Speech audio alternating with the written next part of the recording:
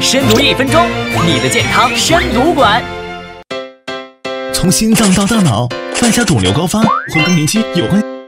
心血管病变，血管畅通、光滑、有弹性才是健康的血管呀。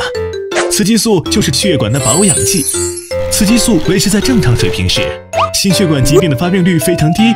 雌激素含量一降低，血管迅速老化、变粗、变窄，有血管钙化、粥样硬化，有点血栓，再加上情绪波动，心梗了、脑梗了，易发肿瘤。正常情况下，激素水平保持平衡，预防肿瘤的滋生。免疫系统，它能够识别并处理掉体内的肿瘤细胞，阻止肿瘤的发生。更年期的雌激素水平下降，激素调节紊乱，容易诱发肿瘤，或者让已经存在的肿瘤加快生长，甚至恶化。